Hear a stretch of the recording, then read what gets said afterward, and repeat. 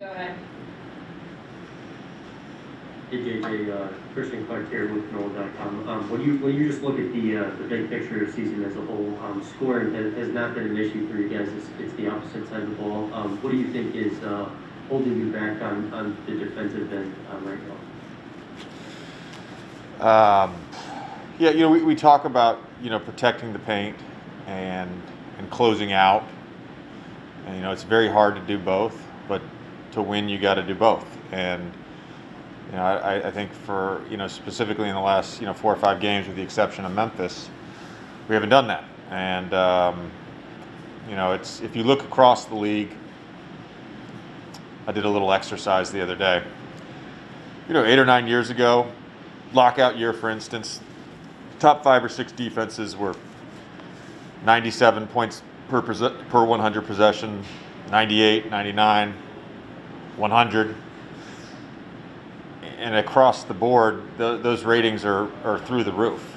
It- It's incredibly difficult right now with the spacing and the freedom of movement and, and the talent to, to, get, uh, to get stops. And, and we've got to we've got to, you know, get better relative to the rest of the league. Um, you know, I, I, I had years with Stan where, you know, we had a, a defensive rating in the top five right around 100.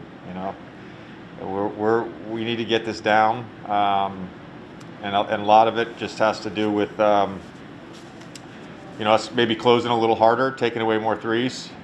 A guy like Damian Lillard tonight, I mean, that's just expert level shot making.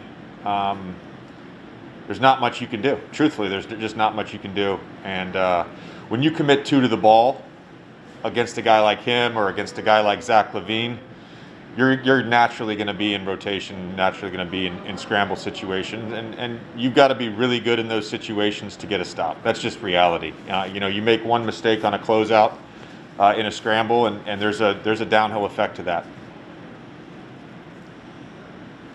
Yeah, what's up, JJ? This is Will from the Athletic. Just from your vantage point, uh, what you see on that last possession, and what you think about the two shots you guys got up before the buzzer?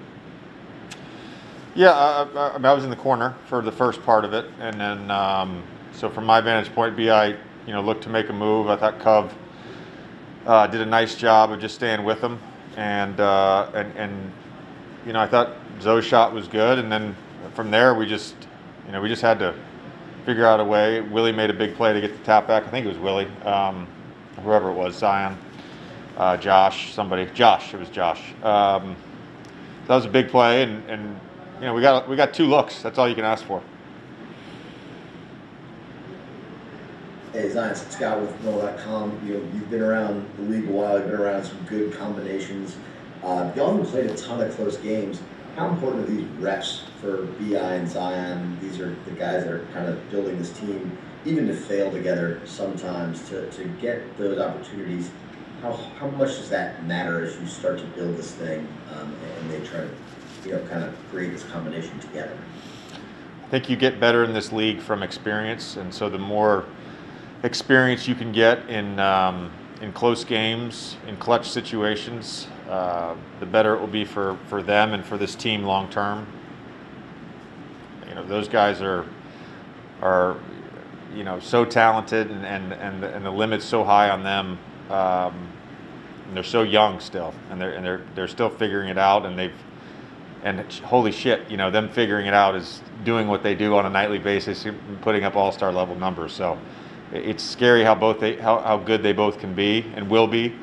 And uh, and and the more situations they get like tonight, I think long term they'll be better. Yeah, uh, we saw for the past two nights you guys have a ton of success with that two-man game with uh, you and Zion. Just what's it been like uh, developing chemistry on that play, and how much do you think it's helped your offense as well being able to establish that Zion? Well, I'm I'm I'm one of the probably the best screeners in the NBA. I know I, I don't look it, but I am. Um, so it's it's just it's a game of chess, and Zion is is strong enough and uh, handles the ball well enough that he can figure it out, and that's all it comes down to. Um, you know, the other stuff, you know, a couple shots tonight was off DHOs with him or whatever. Um, that that's we've been running that all season, but the but the the, the play with him handling and me screening or with Zo screening. Um, we haven't run that at, to a high degree of, of reps, uh, but the last few, you know, last obviously last night and tonight we did, and um, it puts the defense in a in a conundrum. JJ, I just had one more question about the defense real quick. Um, the, the, the way you guys play, um, the style, I mean, is that, is that like a high degree of difficulty? Is it, is it, I mean, a very difficult thing to pull off to both protect the paint and then make that, that long rotation to get out there? It is. Um, you, you, players are too good in this league, so you're going to have to live with something. So the alternative to, let's say tonight, would be um, putting the big back and pick and roll and letting Damian Lillard shoot pull-up jumpers all night. I have a high degree of confidence that he's going to probably still end up with 40 some points.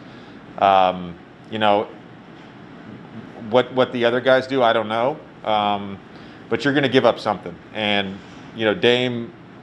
You know, I, I think as much as it was the um, some of the shots he hit, it was just the way he and he sees it every night almost. But you know, the way he was able to to attack the second defender in either splits or, or just using his quickness to get around, and that's sort of what created, you know, shots for other guys, and and and they're, again, they see this every night.